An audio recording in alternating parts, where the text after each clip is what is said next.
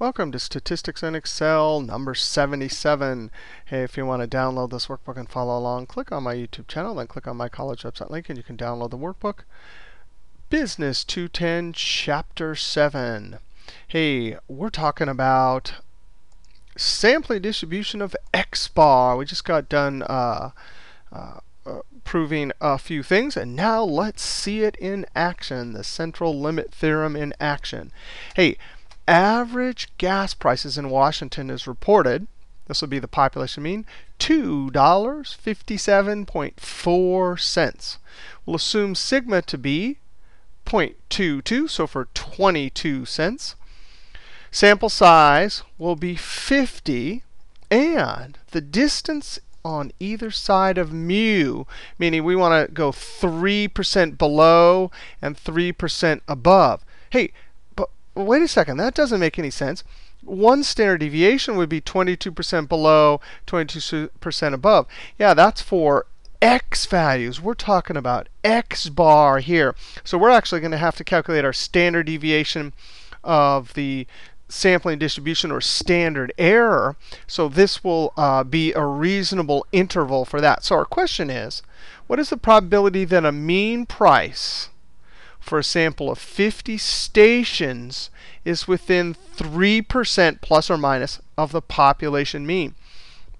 What this means is we can say we'll, we'll create this interval which will give us a probability that we would get any particular mean within this range. Let's go ahead and see how uh, to do this. Let's calculate the standard error or standard deviation of the sampling distribution of means. So we'll call this standard deviation of sampling distribution of sample means. That's the big long name for that thing. All right, so our standard error equals, we will take our population standard deviation. We know that in this chapter. And we'll divide it by the square root of our n. Close parentheses. So our standard deviation for this distribution will be 3.1 cents. Now we want to calculate our lower and upper x bar. And we're given, this is called the margin of error on either side of our population mean. So we want get something below this and something below it, below it, above it, and then say a probability statement like uh, the probability of getting a sample mean above and below this population mean will be.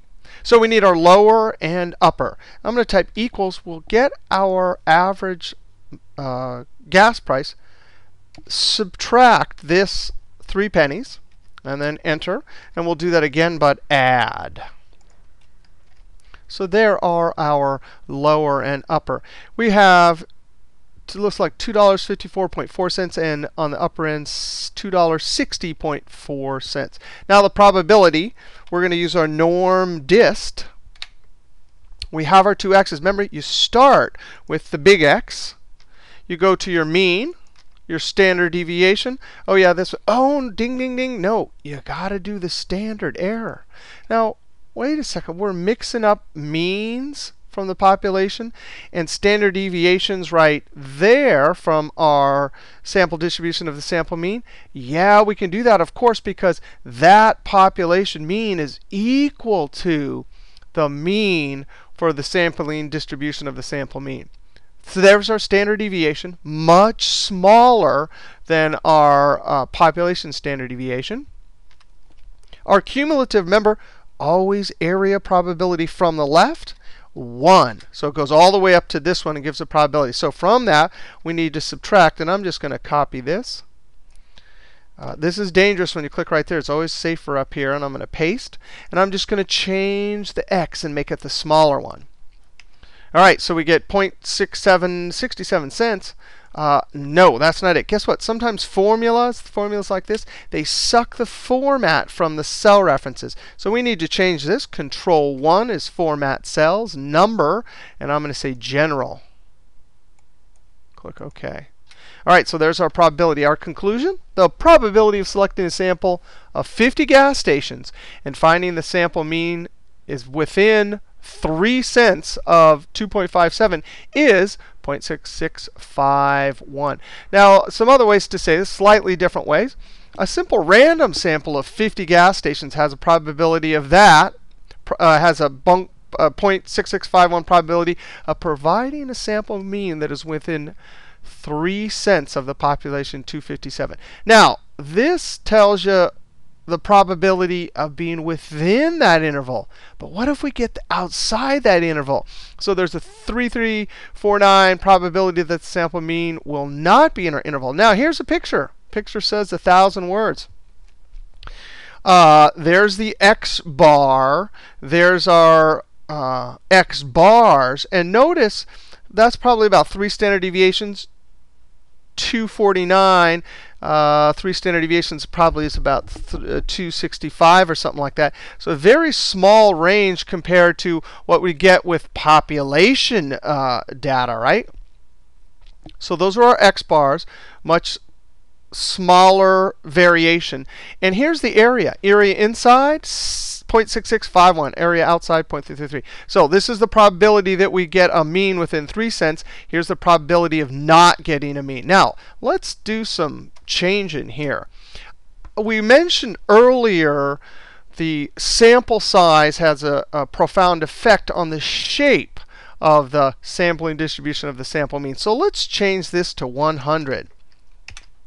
Oh, it, it not only changes the shape. Look, now it's like from 3 250 to 262 uh, or something like that.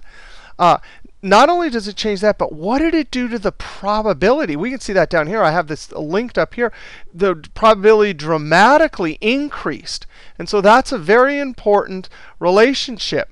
It's one reason why people like to have large samples, right? When they're testing to see if a sample mean, their sample is within whatever number of cents from the population mean, the larger the sample size, the greater that probability will be. Now let's go up to 200.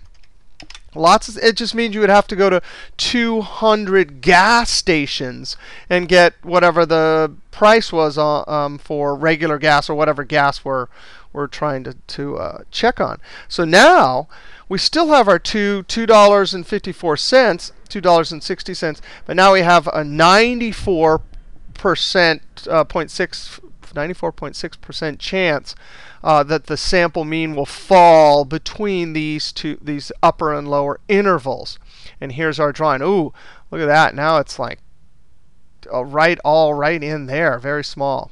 So um, Oh, and look, the probability and in chat when we do hypothesis testing, this is what we'll be interested. There's a, a 5.3 4% probability that the sample mean will not be in our interval. This is actually the risk you run that uh, your sample mean won't be within your, your interval here.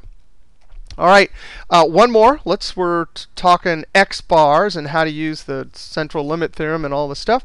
Here's an example. History for a food manufacturer shows that weight the weight for chocolate covered sugar bombs, a popular breakfast cereal. I don't let my kids eat that because it's like 90% sugar or something. Organic oatmeal. Oh, but this company, chocolate covered sugar bombs. By the way, I'd let my kids eat it, but I just call it here's some candy, not cereal. So is uh, the mu is 14. The uh, sigma population standard deviation is 0.4 ounces. So they they know that these are the numbers from uh, population data. If the morning shift shows 14.14 ounces and the sample size was 30. The question is, is the sampling error, which is 0.14 because uh, x minus that would be uh, uh, 0.14, the, is that sampling error reasonable? Or do we need to shut down the filling operations? Now I have a little hand-drawn example over here. We uh, list our variables. We calculate our uh, z. We got 1.917. We calculated our standard deviation given a uh, sample of 30, and we got a sample standard devi deviation of that. Uh, and we conclude, we make a conclusion. So really, this one's asking, we want to ask a question, um, what's the probability above? Because our value is above. What's the probability above? We get uh, 0.0276. There's not a real high probability that you could sample and get 14.14 or greater. This probably means the machine is filling too much. Let's go ahead and do this calculation over here. Let me see if I can uh, blow this up just a little bit.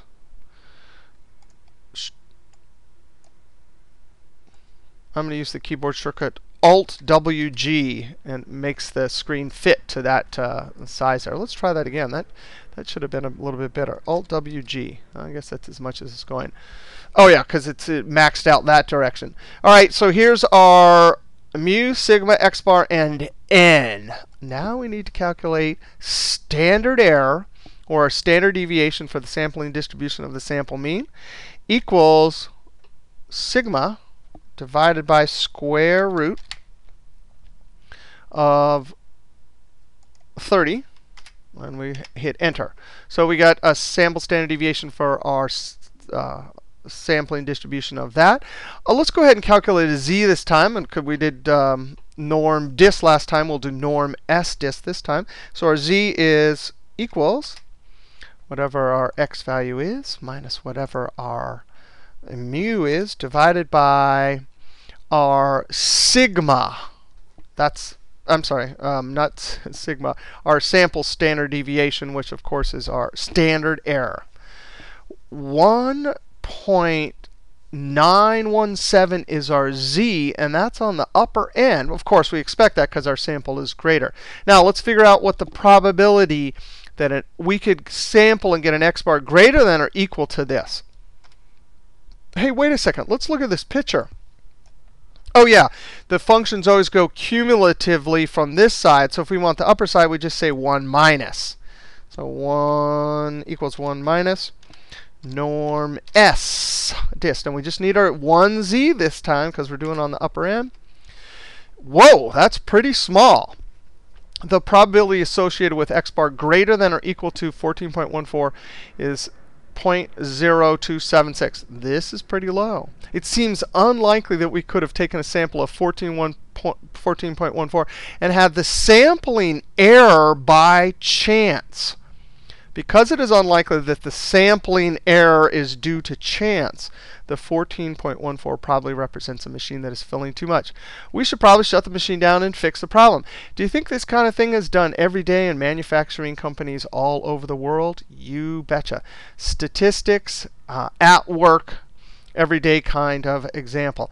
All right, uh, when we come back, we need to talk about uh, two more topics, including proportions and using uh, the ideas we've been using in this chapter. All right, see you next video.